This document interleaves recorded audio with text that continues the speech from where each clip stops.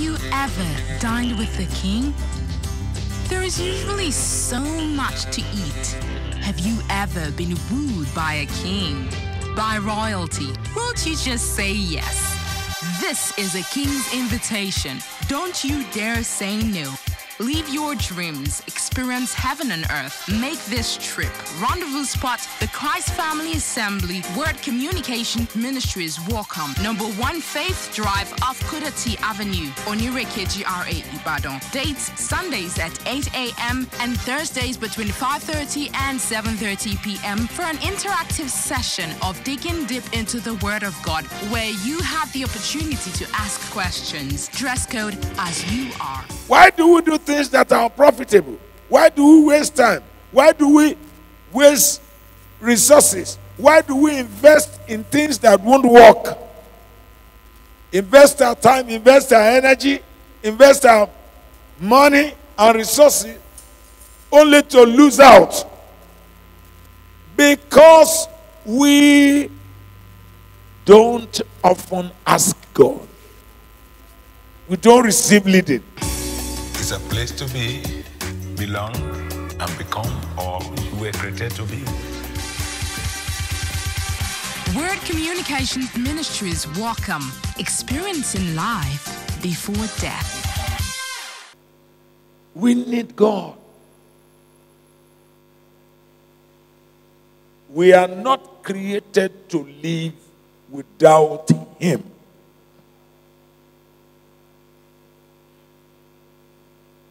And one of the greatest blessings we have as children of God, as believers, as Christians, that gives us advantage and leverage over those who do not yet know God is this great promise that God will guide us continually. Our access to divine guidance is one of the great blessings of our faith. This guarantees that we don't have to live our life by guesses and by gamble. A lot of people in the world live their life by guesses and by gamble. But as Christians, we don't have to live by guesses and by gamble. We can be directed and guided by God in specific ways to go and in specific actions to take. We can know what to do each time to get to the end we desire or we want. And this leads us to becoming target shooters. This leads us to become target shooters. And we must all aim at becoming target shooters. You have a revelation of where you want to go, and you know how to get there without wasting time and resources. A lot of times our resources are wasted. Many times because we do things by guessing. We gamble with life. Then when we are guided continually by God, when we are led continually by God, we will never have to waste time. We will never have to waste resources. We will never be ineffective. We will never be unproductive. Every action we take will be precise and productive and effective. May God grant us grace to live life at this level in the name of Jesus. So, as we seek and follow God's direction totally, blessings, growth, increase come in our lives. safety, preservation, peace becomes our lot. The advantage and the blessings in being guided by God are limitless. I can't exhaust them. But if you sincerely desire to live quality life, to live a productive life, to live an effective life, to enjoy your life, and make the best out of your life, one of the greatest things that you must seek is to be led by God. To be led by God. Brethren, the race is not for the swift, nor the battle for the strong. It's of God who shows mercy. One of the ways the mercy of God is shown to you is by being told by God exactly what to do. All this running from pillar to post, from the north to the south, east to the west, only at the end of the day to have little or nothing to show for all the running. Doesn't make sense. Why don't we take time to get to know how to be led by God? Why don't we take time to learn the things that are necessary to make our lives effective before we start running? Right? Let's learn what we need to learn first before we start running. Let's look at a few of these promises of divine guidance. Our test is number one the Lord will guide you continually. Can I hear somebody say, The Lord will guide me continually? That's one of the promises of God that has not struck the consciousness of some of us. The Lord wants to guide us continually, not sometimes, not occasionally, but continually, all of the time, all of our lives. God wants to guide us as His children. Another promise is in Psalm 32, verse 8. I will instruct you and teach you in the way you shall you should go and I will guide you with my eyes. Praise God. God is very clear. Why do we run when we have not heard from Him? Why do we do things when we have not heard from Him? He said, I will instruct you. Many of us will run without instruction, we move without instruction.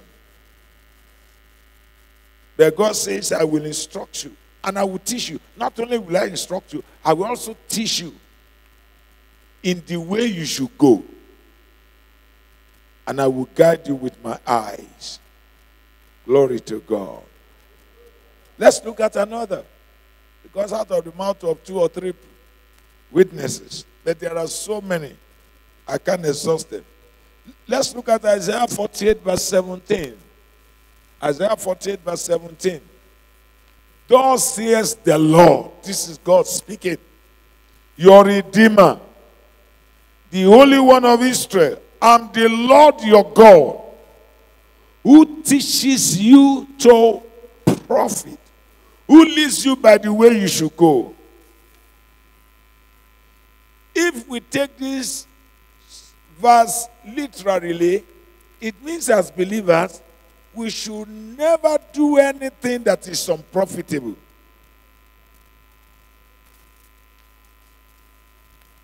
Why do we do things that are unprofitable? Why do we waste time? Why do we waste resources? Why do we invest in things that won't work? Invest our time, invest our energy, invest our money and resources only to lose out because we don't often ask God. We don't receive leading. We think we know it. We think we know what to do, how to do. So we ignore God often. That he says, I am your redeemer. So he's actually talking to the redeemed. God is talking to the redeemed. If you are the redeemed, this is what your redeemer says. The Holy One of Israel.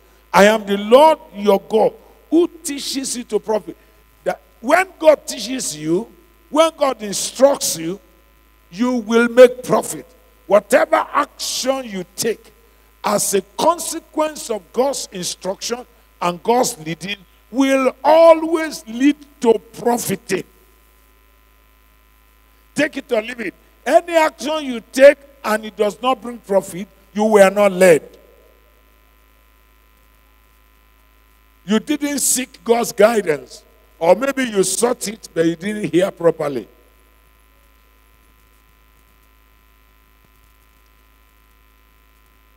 He says, It's the Lord who leads us in the way we shall go. Beloved brethren, if we begin to take the issue of divine guidance seriously, very, very seriously, and we apply our hearts to it, every step we take, every step we take will lead us to our destiny. Yes, we say a number of things. They are true. No, they are facts, but they are not the truth. They are facts of life, but they are not the truth. One of them. Everyone who ever succeeds failed before. It's a fact of life. But if we go by the truth, many people ought to succeed without ever failing. If we take the truth by what the truth is, we can succeed without ever recording a single failure. So the truth is, we can succeed without ever failing. But it's a lot of work on ourselves to get to that realm. And that's the realm in this station we are all trying to move to, including myself. That's the realm we are trying to move to. And God will help us in the name of Jesus Christ. Verse 14 of Romans 8. Romans 8, verse 14. For as many as are led by the Spirit of God, these are the sons of God. That scripture is strong. The implication of that scripture will rock the belief of many of us. If I'm to take it literally, here is as many as are led by the Spirit of God, these are the sons of God. It means those who are not led by the Spirit of God, they are not the sons of God. Hey, if you are a son of God, you must be led by the Spirit.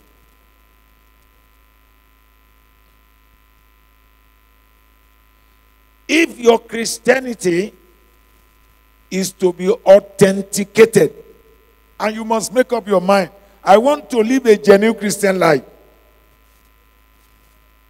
If you say you are born again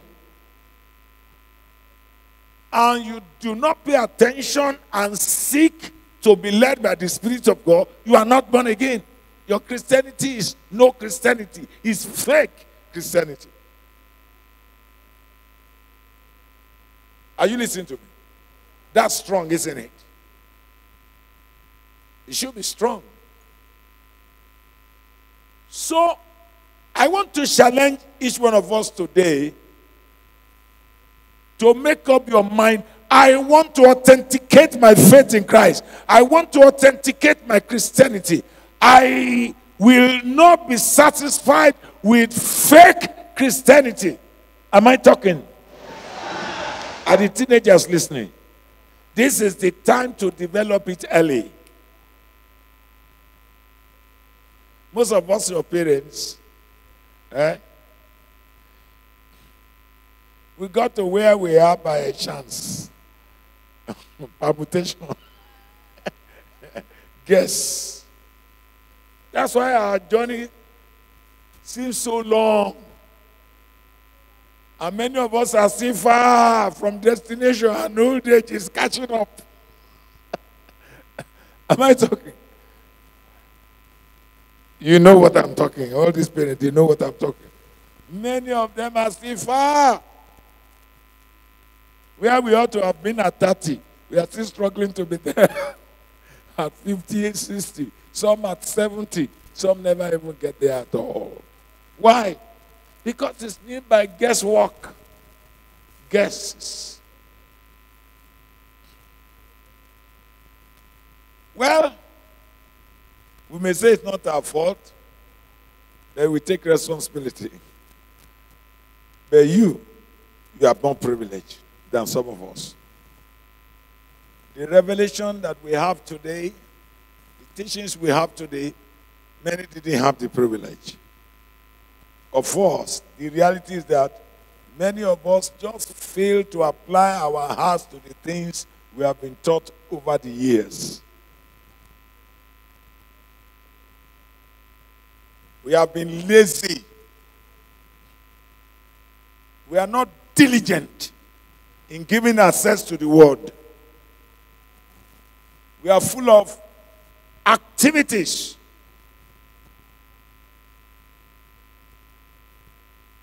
Just doing moves. For as many as are led by the Spirit of God, these are the sons of God. It means those who are the sons of God are led by the Spirit. Those who are the sons of God are led by the Spirit. Praise God. Now, in seeking divine guidance, I want to give us a warning. I want to warn us. We must be careful not to go astray while seeking God's guidance. A lot of people go astray while seeking God's guidance. There are two main pitfalls we need to watch for and avoid when you are seeking divine guidance. Two main pitfalls to avoid when you are seeking divine guidance. The first one is being subjective or objective. Being objective versus being subjective. I will explain. I will take the two one by one. The first one is what I call intellect objectivity. Intellect objectivity. This one rejects all subjective Christian experiences. It rejects all subjective Christian experiences. What do I mean by that? It will do nothing unless it will do nothing unless it is logical, rational, and intellectually reasonable.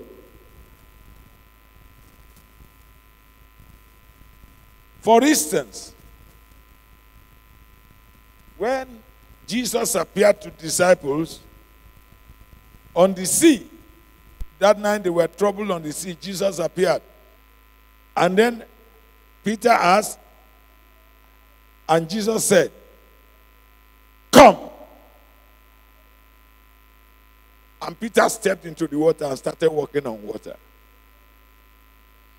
The objective person will not walk on water. Ah, come on, come on. It's not reasonable. It's not, it's not sensible. Ah, You are not Jesus. Now, how can he ask you to come over? You will sink, go.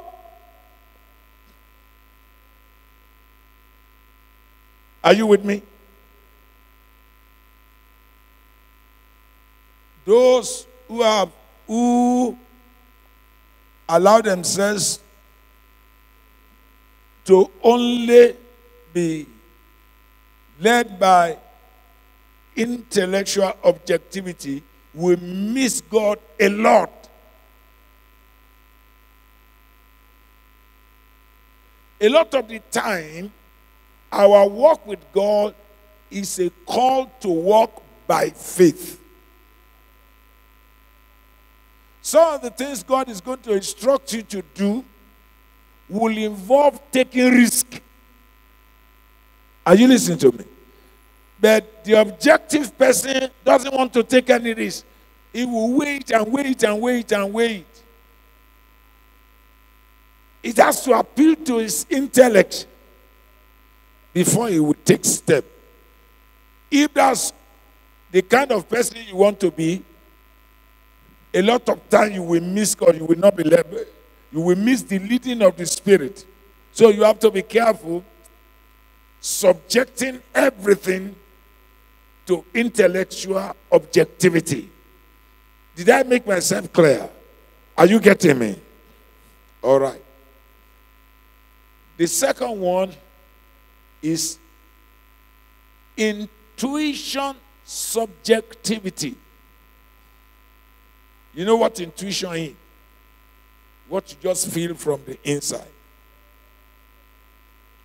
That intuition subjectivity. I hope you are getting me. The first one is intellect objectivity. You have to be objective now. You know how many times you have said that.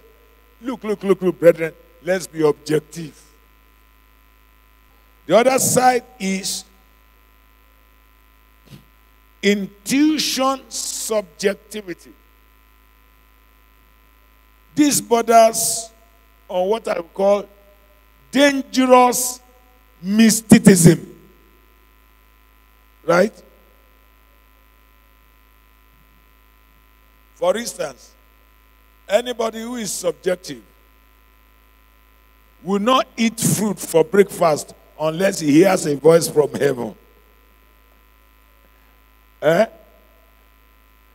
If you are taught that, look, for health reasons, it has been scientifically proved that you should eat fruit for breakfast first thing in the morning. Say, ah, Allah will lead me. eh? It tries to mystify everything.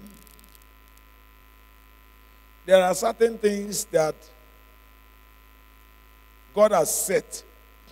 You don't need any mysterious voice to tell it to you anymore. But these people know things that they should naturally do.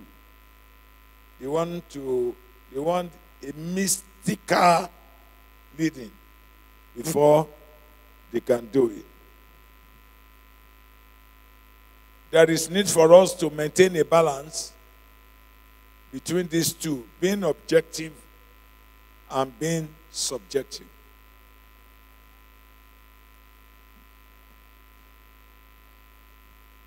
There is a story of a man of God who was subjective and not objective. He felt a leading, he felt an intuition, let me say, to go to an island for mission. So he came to the church and told them, God is asking us to go to this particular island on mission. So while they were going, the man who was taking them in the canoe was wondering, in the ferry, was wondering. When he saw the equipment, the huge speakers, amplifiers, guitars, keyboard, all the people. So he was wondering, what are you people going to do in this island. He said, Oh, we are going for mission to preach the gospel to the people there. He kept quiet. And later, as they were, he said, But this island is an uninhabited island. And they got there. Nobody lives in that island. That's a person who was being subjective.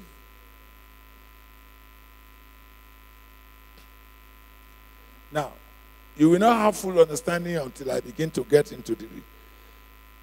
But the fact is, this person, if God is asking you to go to an island and you are going to raise a team of 30 people, you are going to raise hundreds of thousands of dollars, people are going to leave their work for weeks or a week and travel thousands of kilometers flying and going by sea.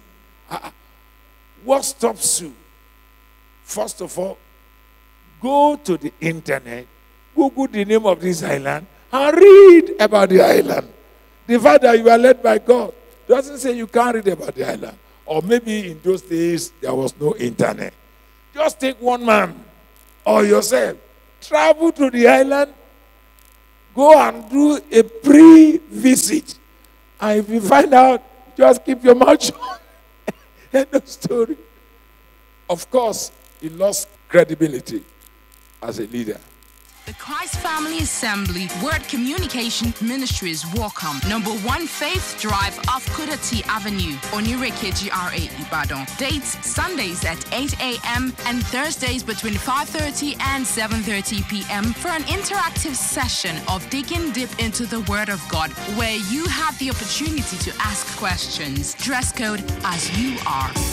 It's a place to be, belong, and become all you were created to be. Word Communications Ministries welcome. Experiencing life before death.